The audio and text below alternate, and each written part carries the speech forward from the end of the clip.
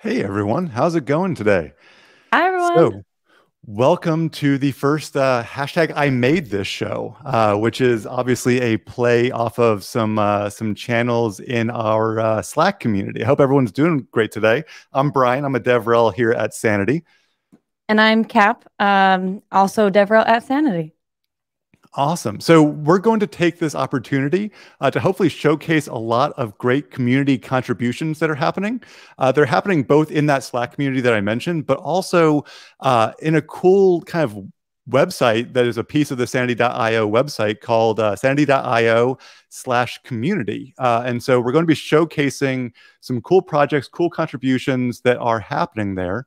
Uh, if you have not already, do go join that community. You can sign up. You can put your projects in there, your kind of showcases of how you're using Sanity. You can put in there uh, guides. You can write little guides around stuff. You can add in uh, plugins, you can add in starters, all these things that get promoted to the entire Sanity community. So I think it's a, a super cool project. I've got a few of my things shared over there. So I'm really excited to share more uh, with that community as a whole.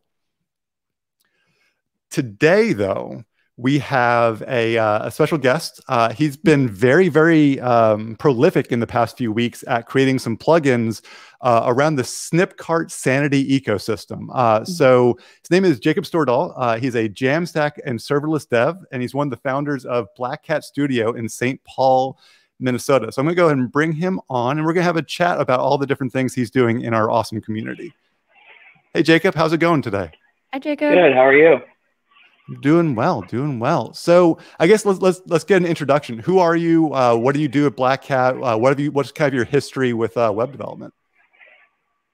Yeah, so I'm currently just working freelance. Uh, Black Cat is a little sole proprietorship I run with my partner Milo, who's an illustrator.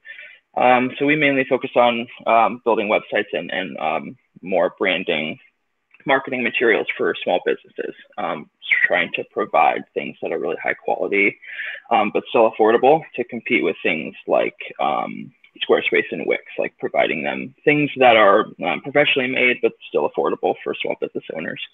Um, so yeah, we started doing that about a year ago. it's been really fun getting to work together. I started learning web development in, let's see, I was in college in it must have been 2015. I took my first web design class. I learned HTML and CSS. CSS3 had just come out and um, learned all about Bootstrap and all that stuff. Um, I tried to learn JavaScript in college and I uh, failed at it. I didn't didn't get it at all. Um, and so I chose to leave development for a little bit. Uh, didn't really consider it for a career path um, and chose to do welding instead, which is really weird. Uh, the story to that is kind of awesome. interesting. We can get into that if we want to. Um, but what I found was what I really liked was problem solving. And through working in a fabrication shop, I got really, really good at solving complex problems. And so then uh, about a year and a half ago, I came back to JavaScript, and because I had done all that problem solving, it just clicked. Um, and so I've been trying to do that ever since. So, what what kind of problem solving with with fabrication? What what's what problems are there in that in that way? So um, I got my first real big job um, where I was building stuff kind of on my own uh, in a sign shop, and so in lots of fabrication, it's kind of all metal, and so it's kind of all the same. But a sign has so many moving parts and so many different things going on that you have to consider. Um, and so those problems just became, and the, the, the, shop I worked in was really ambitious. It's like the biggest, uh, most longest running sign shop in Seattle called Western Neon. And um, they had tons of great people there. I learned a lot and we built some really, really cool stuff. Um, so that, you know, giving the designers range to produce really cool things that we could build. Um, then it was just up to us to figure out how to do it, and it was kind of like like a game. Every day we get to come in and team up and try to solve this problem. It seems impossible. As I, I like what you said about like. Uh, um, does that, had the designers uh, design something that we could make? That sounds very familiar in the web dev community as well. Yeah, yeah, yeah, totally. And I, I love the the name Black Cat. I'm a cat fan, so Thanks. Huge fan. Yeah, my, we have a we have a little cat named Piglet, and she's she's black, so she's our little oh. logo on the website. If you go there, my Good black cat is upstairs, barred from the recording right now because she would come down here and scream at us all. So it's probably a, a good thing. Yeah, but yeah, yeah, mine does that as well. Yeah.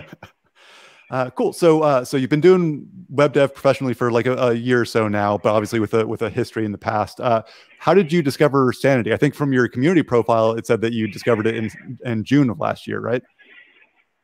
Um, yeah. So I was I have been contracting. I still contract with them, but um, I was living out in a small town in Washington called Port Townsend, working for this company called Bootstrap Commercial Arts. Um, are a couple, uh, just like me and Milo are, and so we kind of clicked. Uh, they hired us um, as contractors, um, Milo to do design and illustration, me to do uh, web dev and some video stuff. And we had been working with WordPress. Um, they didn't really have tons of experience with JavaScript. Uh, the owner, Rick, really is good at HTML and CSS, and so he was comfortable building WordPress themes and kind of leaning on that ecosystem to bring mm-hmm. the functionality into the websites. Um, and so I was doing that for a while, and it was just miserable. Um, obviously, you know, dealing with not so much WordPress itself, um, but trying to get in contact with developers to talk about their plugins. I try to do this. How can you help me with that? Like that whole uh, process was just really uh, difficult, especially as a contractor who's not getting paid a salary. Like my time is very valuable, so I want to just be able to do it really fast and get it to them, but still have it be high quality. And so I started learning about headless CMS. I was like, oh, that sounds really cool. You separate the data. You don't have to provision a database. You don't have to database or have a server at all. It's like, that sounds great. I don't want to sit on the phone with Bluehost anymore than I was at the time. So um, I started playing with it um, personally, built a couple um, example sites using it with uh, Svelte and Sapper because that's work I learned. Um, so yeah, I just found it, started playing with it, and fell in love using it. Nice. Well, so, one of my one of my favorite projects that you've shared on your profile in the community, it's a fictitious plant shop, and I love plants. And so it's like the most beautiful website, but um, it's under his profile and uh, it's titled Grow with lots of W's, but it's a very fun uh, test site. I liked it. Yeah, I had a lot of fun building that. Um, what was the inspiration for that being a plant, a, a, a site selling plants?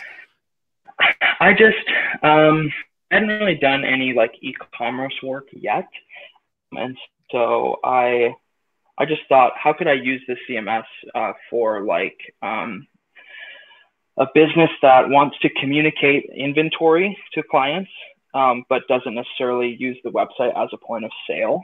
And so my idea was if I owned a plant shop, I would want people to know what plants I have at the time. And if I run out of them, I can take them off the website.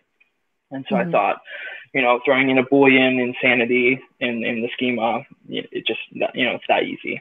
So I just wanted to that idea. And I just, I like plants. I liked finding all the pictures of all the plants on Unsplash. Um, and yeah, also where my education is really in uh, uh, in, in in my schooling in college. That's what I learned. So I really liked designing that as well. I just thought the visual sort of nice.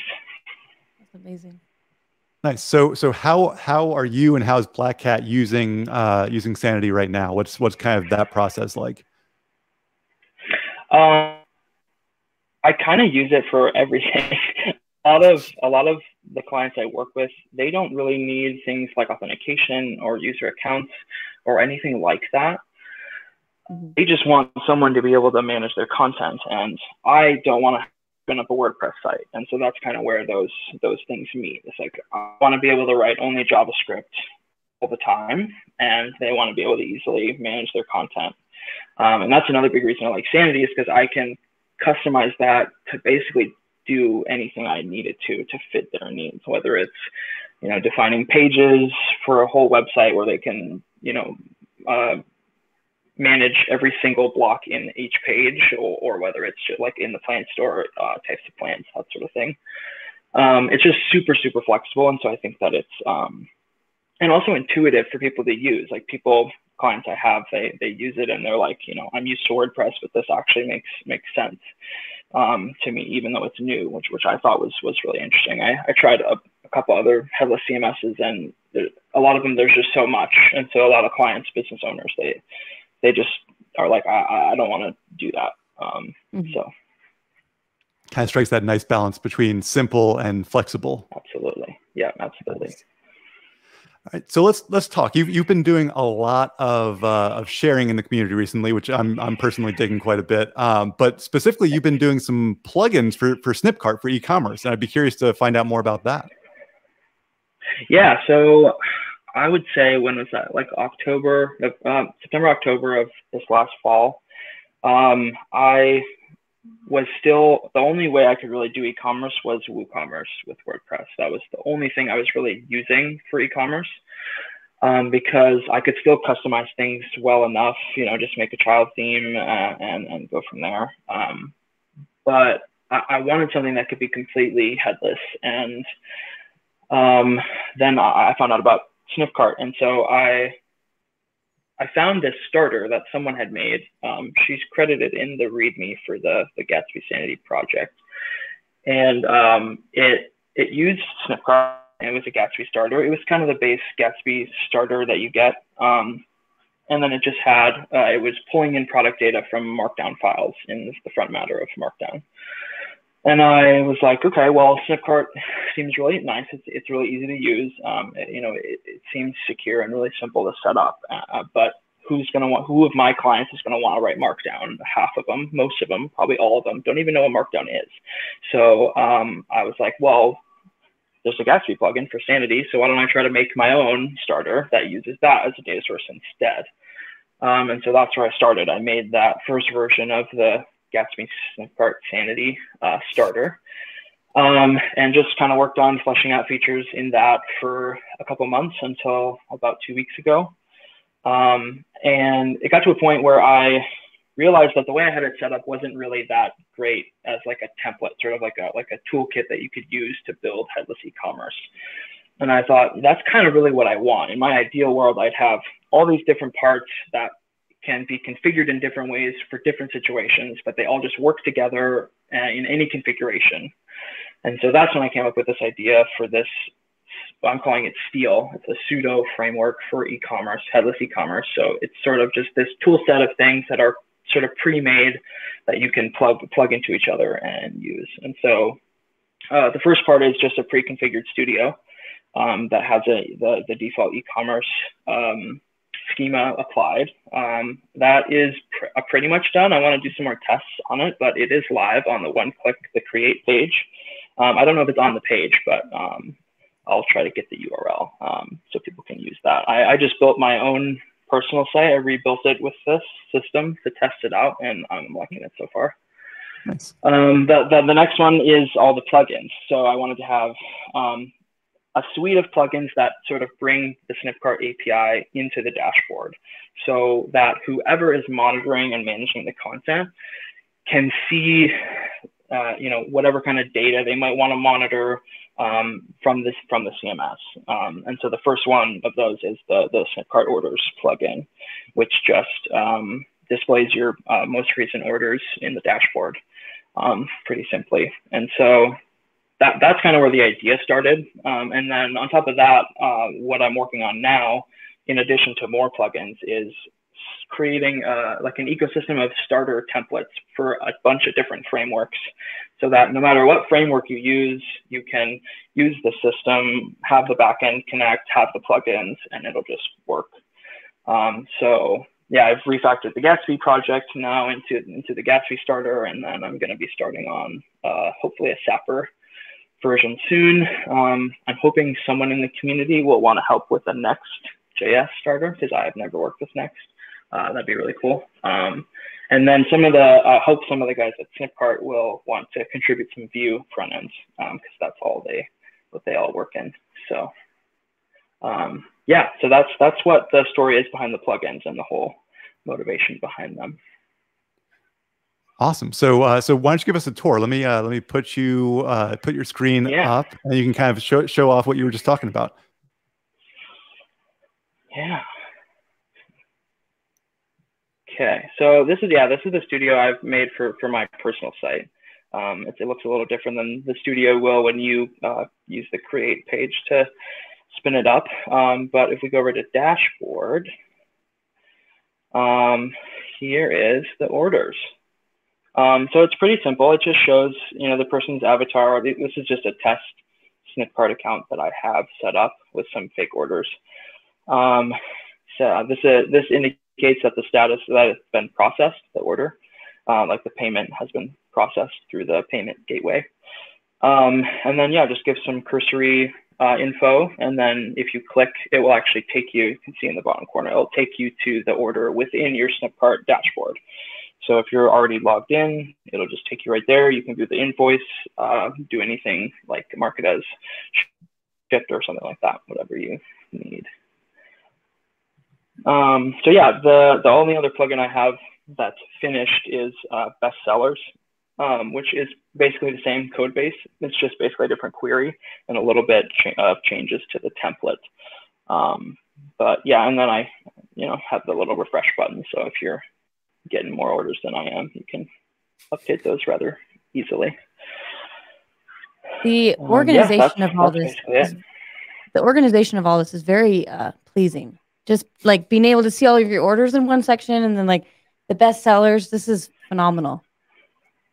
Thank you. Yeah, I really like it. And it was so really easy. Uh, the, the CSS that is provided by Sanity was really, really helpful. Um, like all these predefined variables for like the line width and and all that sort of stuff, like the buttons. You know, I didn't have to do any of that. That was really, really nice. Nice. Did so, you... Uh, go ahead, Cap. No, no, you go ahead. I was going to ask uh, if, if you could kind of give us a, a, peek behind the scenes of the, the actual like code and how the plugin works yeah. in, in that regard. Yeah, let me see. Well, there's my API key. I have to delete that now. Oh no. Actually, let's just go to. Who amongst GitHub. us hasn't done that live, right? It's just, it's, it's just a tester now. Yeah. yeah. Um, so yeah, here's the project. Um, it's really pretty simple. It's just one index. Um, so yeah, it's just a you know class component with some prop types. Um, this is the main function. It just um, creates a request. It provides the API key through a header. Um, the only other option besides the API key is the limit. So it defaults to five orders, but you can in the in the options um, here you can change that um, in in the dashboard config file in in the Studio. Um, yeah, and then it just uh, sets those orders and puts it in the state, and then we parse it out into um, this template right here. Um, so a lot of this was um, actually spun up from, I've been using the, the CATS um, sample plugin with when you run, uh, what is it, Sanity init plugin, I think. Um, mm. The default dashboard plugin is uh, it like gets uh, cat pictures randomly. So I was like, oh yeah, let's make an API call. I could just use that. So um, a lot of this is boilerplate from from that. Um, yeah, it's pretty simple. Just you know, just uh, mapping over each order that's returned and and printing out one of these uh, little divs with all the data inside. Um, yeah, that's pretty much it. And do you and find the uh, bestsellers of... plugin is the same uh, code base basically. No worries. Do you find that a lot of your customers um, have you used this in customer like websites yet or in their studios? No, no, I'm still trying to hmm. trying to test test it. That's why I'm rebuilding my site in it. Um, I'm going to have some digital products and hopefully sell some stickers as well. Um, just because I really want to know uh, what their experience is going to be like, so I can mm-hmm. foresee any uh, potential problems and that sort of stuff. Nice. I wonder what the uh, limit is. I wonder how high you could get that before it doesn't know. Oh, I don't know. I think you can query all of your orders. I think. I mean, it might be a little slow to load, but. Mm-hmm. So, what, what would you say is kind of the uh, the advantage to going with a with a Snipcart type uh, e-commerce system as opposed to like a Shopify or you mentioned you know WooCommerce from before? Obviously, that's that's tightly coupled with uh, with WordPress, but yeah, uh, what would that kind of why Snipcart and not something else? Yeah, I, I talked with um, Frank over at Snipcart yesterday about this, and I think that it really depends on the situation. Um, for example, like my my mom and sister are just starting a boutique with a storefront, um, and so me and and Milo at Black Cat we did all the branding and we're doing the website. Um, and so because they needed a storefront it was kind of just easier to go with Shopify because they just provide that out of the box. And they also, um, we, you know, my, my mom and sister obviously don't have a ton of money to pay me to build a custom website. And so just spinning up a Shopify theme and, and customizing it a little bit is, is about all we could do. So I think in those situations, it's fine, uh, Shopify, but there are lots of cases where I'm already running into issues. Um, for example, the boutique is uh, hosting vendors, kind of like consignment. Um, they're like featuring local makers. And so they get to have their stuff in the store in a little section. The store gets 20%. Um, but on the website, I wanted to be able to feature them. And if I wanted to do that inside a Shopify theme, I would have to go in, make a vendor's page that has a grid with all their photos that links to an individual page for each of them that I would have to create. And so what I what, what I would like to do is create a Sanity Studio that has a vendor schema that I've made and say, hey Shopify, for every vendor in this database, make a page. And there really isn't an easy way to do that. And so I think when you get into the more those more custom things where you don't just want uh, an e-commerce store with a shop grid and categories and single product pages um, so going with something like snipcart especially as a developer is is way easier because i can build exactly the website i want and just throw the e-commerce in and it just works um, yeah that, that's why i really like snipcart and think it pairs really well with things like sanity if you're already building a website like that Do you do you have any ideas for future plugins? Um, yeah, I mean, I'm working on a couple. Um, I'm working on one similar to this for subscriptions, um, and then cool. the other one that I have um, in the works is for discounts. And this one's going to be a little bit different because it's going to involve pushing to the database as well. Um, so it will show you what discounts you have and how many times they've been used. I thought that mm. that data would probably be uh, relevant. You know, if, if someone's using a, a coupon a lot, maybe you want to push it on social or, or something like that. Um, and I also wanted people to be able to make new uh, discount codes uh, straight from the studio. And so that's the that's the, the, harder part that I'm trying to work through right now. Is there's going to be a little button up here uh, that you can click. It will open a big modal over the studio with a form. Uh, you can select the type of discount, enter in the data, hit submit, and it will push it to Snipcart, create the coupon code for you, and then you can use that in your storefront. That um, that flexibility is really nice to just be able to let them create their own discount codes. That's phenomenal. Yeah, totally. And it's not like like the Snipcart dashboard is great. I, I love it. It's really intuitive mm-hmm. and easy to use. But just like that context switching, you know, if, if they're already in the studio, I want to be able to let them manage that stuff and see that type of data um, from from the get go, right there. So, out of curiosity, so you you've been sharing this stuff in the community. You've been building it. It's all stuff that you can install. Like right now, somebody could go and install this into their uh, Sanity project. Yep. What was the impetus behind sharing this stuff? Why why did you put it into sanity.io slash community? Yeah, I yeah. Um, I think that I mean I just am I'm really into the idea of open source. Um, I have basically learned everything I know now because of the open source community and because of um, you know content creators making content on online. Um, I haven't bought any books. I have bought one course um, the whole time I've been learning, um, and and so I just I feel like if I really don't get people who who want to make stuff. I mean, I, I get the idea of, of profiting off of your work, and that's totally reasonable. But I just feel, especially as only being a developer for a year writing JavaScript, everything I'm working on could be so much better if I had second eyes um, and help and contributions from people and feedback. Um, and so that's why I really like learning out in the open, as people say. Um, I think it, it helps me a lot. Um, and yeah, I just think that that's, I mean, that's the internet I grew up on is, um, you know, open, you know, sharing with people, that sort of thing. Um, and so that's really the, the web I, I want to see in the future. So I think it's important to contribute in those ways. Awesome. So if somebody were looking to, to get started and, uh, and build their own um, plugin. um, how would you recommend they go they go about that as as a as kind of a self taught person yourself? Like what what's the the entry point? How are they going to be able to do that? Yeah, I think I started just um, build a plugin locally in the studio first, kind of get how that whole whole thing works, um, installing the dashboard in the first place and getting it configured, and then um, just run Sanity init plugin and build build something in there. Um, and then, I mean, if you want it to be uh, available through npm, which I really prefer, is uh, I, I, use SaniPack, which Espen just um, just polished off, and uh, I really loved using it. Um, the little tool he built for um, building plugins, it was um, made it super easy. There was a a couple things that were uh, there, there was one bug I ran into, but then by the next morning he had submitted a um, pull request that fixed the bug. So yeah, it's been it's been really nice having that that tool.